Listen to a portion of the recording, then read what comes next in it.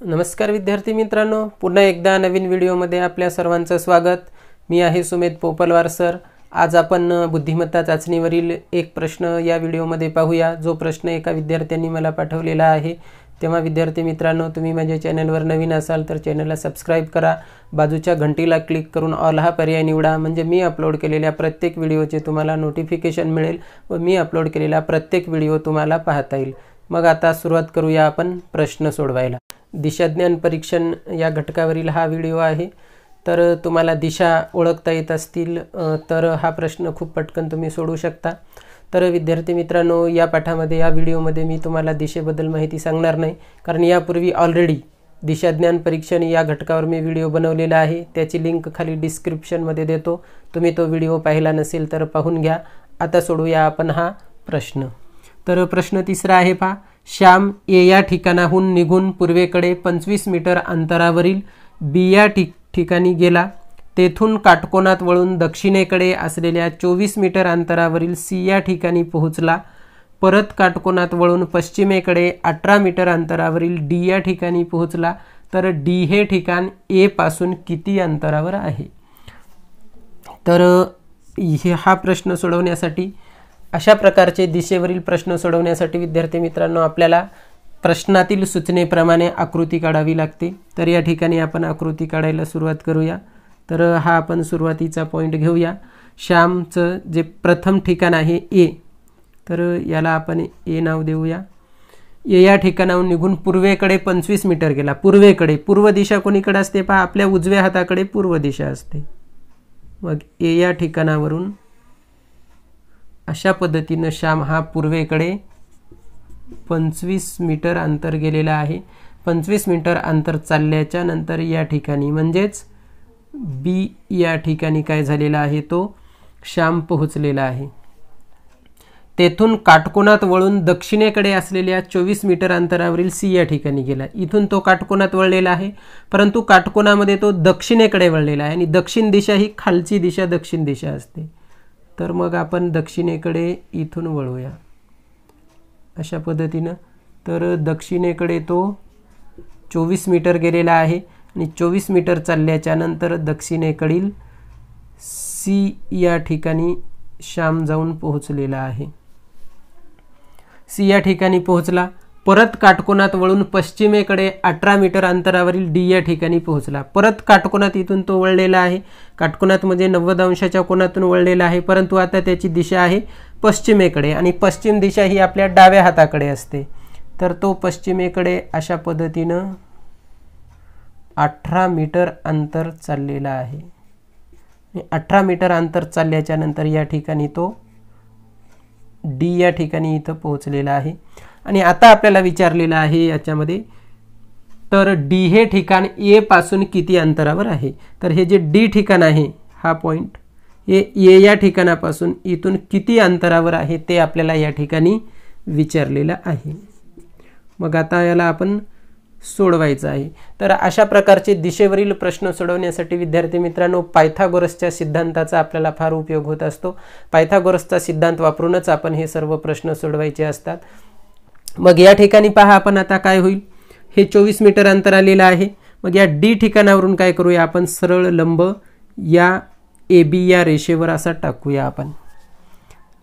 तर माझ्याकडे स्केल नाही आहे त्यामुळं मी अशा पद्धतीनं पहा.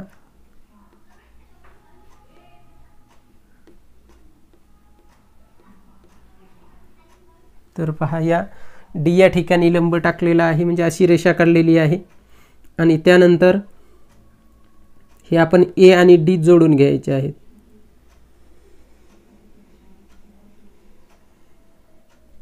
ए आणि डी बिंदू जोडलेला आहे. तर या ठिकाणी पहा इथं काटकोन त्रिकोण तयार झालेला आहे. या ठिकाणी नव्वद अंशाचा कोण होतो आहे. म्हणजे हे काटकोन त्रिकोण होत आहे. तर काटकोन त्रिकोण म्हटलं की पायथागोरसचा सिद्धांत आलेलाच आहे. आणि या ज्या ठिकाणी आपण हा डीपासून लंब टाकलेला आहे याला इथं ई नाव देऊया. तर पहा इथं काटकोन त्रिकोण तयार झालेला आहे. मग आता काटकोन त्रिकोणाचं सूत्र वापरून आपण पायथागोरसचा काटकोन त्रिकोणाचा सिद्धांत वापरून आपण हे सोडवू शकतो. तर पहा ही लांबी चोवीस सेंटीमीटर आहे. बी सी म्हणजेच हे ई डी अंतरसुद्धा काय असणार आहे? चोवीस असणार आहे. तर पहा ए बी हे अंतर पंचवीस आहे. तर पहा पंचवीसपैकी डी सी हे अठरा मीटर अंतर आपण ऑलरेडी चाललेलं आहे. पहा म्हणजे पंचवीसमधून हे अठरा गेले. किती उरलं? हे एई अंतर येई अंतर येईल पहा सात. म्हणजे अठरा सात पंचवीस होतात. पहा इथपर्यंत सरळ असा अठरा आहे हे एवढं सात आहे. मग आता आपल्याला हा कर्ण एडीची लांबी इथं काढावी लागणार आहे. जेवढी काही या कर्णाची एडीची लांबी येईल तेवढा अंतर ए पासून डी या ठिकाणाचं येणार आहे. मग आता या ठिकाणी आपण लिहूया पायथागोरसचा सिद्धांत. तर पायथागोरसचा सिद्धांत तुम्हाला सर्वांना माहीतच आहे. कर्णवर्ग बरोबर पाया वर्ग अधिक उंची वर्ग. किंवा कर्णवर्ग बरोबर एक बाजू वर्ग अधिक दुसरी बाजू वर्ग असंही तुम्ही म्हणू शकता. तर लिहूया आपण. तर या ठिकाणी कर्ण हा एडी आहे पहा. काटकोनाच्या समोरची बाजू कर्ण असते. काटकोन हा आहे आणि त्याच्या समोरची बाजू एडी आहे. म्हणजे या ठिकाणी कर्ण आहे एडी मग लिहूया आपण. एडीचा वर्ग बरोबर पाया. पाया आपण हा घेतला एई ईचा वर्ग अधिक. उंची घेतली आपण. ई आणि डी ही उंची आहे या काटकोन त्रिकोणाची. अधिक. ईडीचा वर्ग. आता याच्यामध्ये किमती ठेवूया. डीची किंमत आपल्याला काढायची आहे माहिती नाही. मग आपण याला असंच ठेवूया. ए डी वर्ग बरोबर. एईची आपल्याला माहिती आहे. लांबी सात आहे सातचा वर्ग. अधिक ई डी पण माहिती आहे. ई डी आहे चोवीस. चोवीसचा वर्ग. पहा हा एडीचा वर्ग. बरोबर सातचा वर्ग होईल एकोणपन्नास.